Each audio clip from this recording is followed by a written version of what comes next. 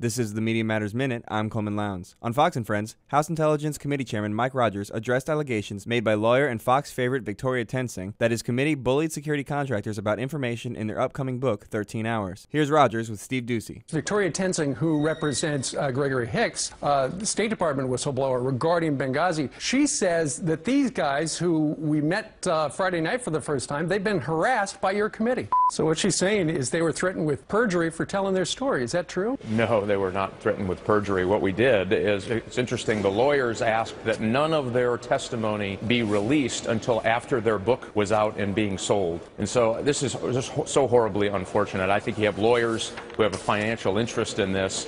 Uh, certainly making allegations that are far from true. What's more, one of the security contractors responded to Toensing's allegations, tweeting, quote, Please do not listen to Victoria Toensing. She does not represent us in any way, shape, or form. For more on this and other stories, visit MediaMatters.org.